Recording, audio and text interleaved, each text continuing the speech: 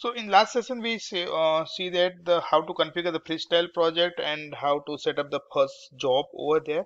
So in this session we are we are going to understand the pipeline and how to configure the pipeline with the plugin and how to set up the pipeline. So let's start for pipeline we have to require the uh, Jenkins plugins to install the pipeline. So here we will also understand how to install the pipe uh, plugin over here. So just uh, go to the Jenkins and Jen uh, manage Jenkins in that plugin manager manager in plugin manager there are the four option update uh, available install and advanced so here in available we have to install the plugin that name is build pipeline.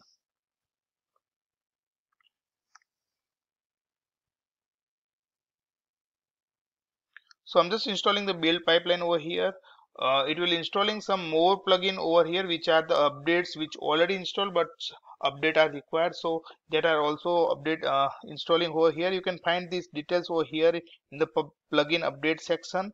So we are installing the build pipeline and let's wait while it get uh, completely installed. So we have to enable the restart jenkins installation. So now all plugins got installed and jenkins getting the restart so Jenkins has been restarted. Let's go to the plugin manager again just to validate the plugin has been installed or not. So going to the manage Jenkins again. Manage Jenkins will find the plugin manager link and in available not we are going to the check in the install and in install we'll find the build pipeline plugin so our plugin has been installed now you can if you want to uninstall you can do here so the, uh, this is the way how we install the plugin in Jenkins